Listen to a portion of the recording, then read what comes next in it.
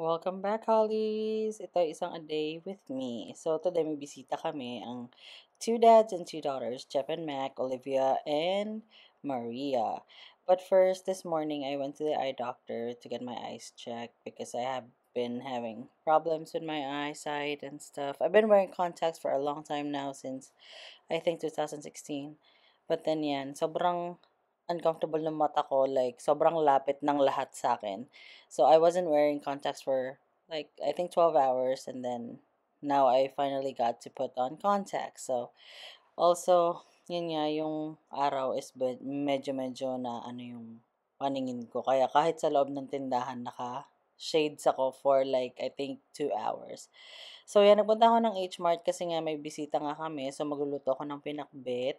So, nagdaan ako ng Asian store para bumili ng mga ingredients. Pero nakita ko ng buko juice, which is TJ's favorite. So, I got some. Pero alam mo ba, napansin ko, like, today is Friday, yung mga veggies nila are not very, very fresh. So, tulad niyang ampalaya, tatatlo na lang sila. So, yun, gumawa ko ng ampalaya, ng sitaw na hindi rin fresh. Pero yung isda, in fairness, masarap siya and fresh. So, got some pampano at saka liempo para sa pinakbit. Kawawa yung isda, patay na. Di man lang nagtagal ng mga ilang buwan. patay na agad siya. Pero who knows kung gano'n siya katagal dyan. But anyway, yan yung pwede mong pagpalinisan ng isda sa loob ng tindahan. So, bumili rin ako ng mga uh, saging at saka itong lumpia wrapper kasi nga magagawa rin ako ng turon for dessert. After that, I went home, nilinis ko yung mga bowls ni Maxi para makakain naman ng aking baby girl. Yan. So, naka-special diet siya ngayon kasi nga she's, have, she's been having diarrhea and she has parasite and some sort of things. But they said it's normal normal for puppies.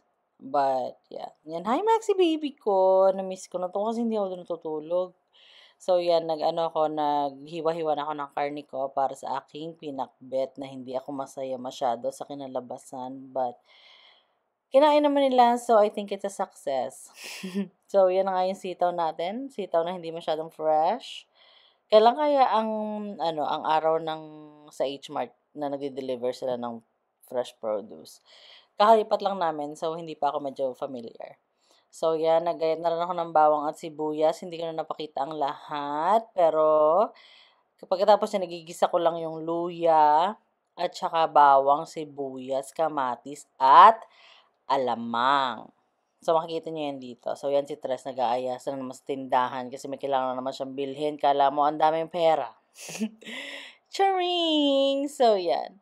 Ako, lagi kong inuuna ang luya, tapos bawang, tapos sibuyas, tapos saka yung kamatis. Kung hindi kayo ganyan mag, ano, maggisa, eh, eh hindi naman tayo pare-parehas. May kanya-kanya tayong preference sa buhay. But yan, anyway, um, nilagay ko na ngayong alamang. Ito ay bagoong sa alamang. Basta yung kulay pink, hindi siya yung kulay brown.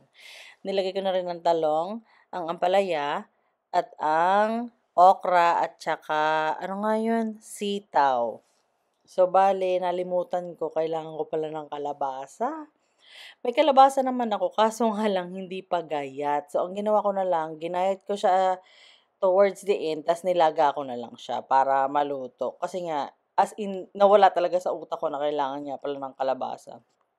So, yun, nilaga ko nga siya. And then, nung pagka, ano niya, habang nakalaga siya, isinama ko na yung pinalutong ko na karning liempo kanina. So, bali hindi ko na nakunan kanina pero nagligpit-ligpit ako ng bahay kasi nga meron tayong bisita. Tapos yan, nagpunta na ako sa trabaho, nagpalakan ng aso. Doon na rin ako naligo kasi nga wala na akong time. So, yun, pagdating ko sa bahay, ayan, pinakain ko na sila. As in, sabay, sabay na sabay kami ni Mac dumating sa bahay. Kung anong oras siya dumating, as in, nagpup, na, lumalabas sila sa sakyan na nagpark ako. Hindi na kami masyado nakapag-video kasi busy-busy kami mag-checkahan. Pero at least na-enjoy naman nila yung pagkain. And this is Olivia Gray. She's so cute. I can't wait to have one like her. At saka, alam, ang, ang bigat-bigat niya, ang taba-taba niya. Diyos ko, alam mo yung binigay ko sa kanyang damit. Yung suot niya ngayon is pang 12 months na, pero 5 months lang yata siya.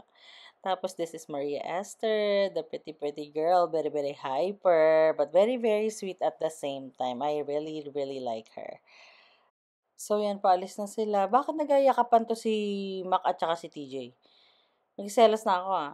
Charing. But yan, salamat ulit sa pagbisita. Mamimiss namin kayo. Sana next time pagbalik nyo, mas mahaba na yung chikahan natin. At saka, alam mo yun, mas makapag-bonding tayo.